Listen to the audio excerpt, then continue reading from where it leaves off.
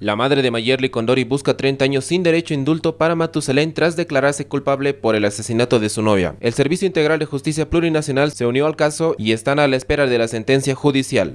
El caso de Matusalén, un feminicidio de la señorita Nayerly Condori, que ha sido de conocimiento público, donde la misma ha sido victimada y descuartizada. Estamos con la mamá, la señora Virginia. Cuando salió de su casa, salió con ese motivo, de buscar a su papá para que le proporcione la asistencia familiar para su mamá y su hermana quien está coordinando la parte final ya del proceso. Estamos a, días de llevar, de conocer el juicio oral, de conocer la acusación, la acusación fiscal, para que ya entremos a la etapa de juicio y poder tener una sentencia contra este ciudadano. Todos los elementos de investigación eh, nos han ayudado a señalar que con claridad él es el autor de este delito y a la fecha estamos a la espera de coordinación.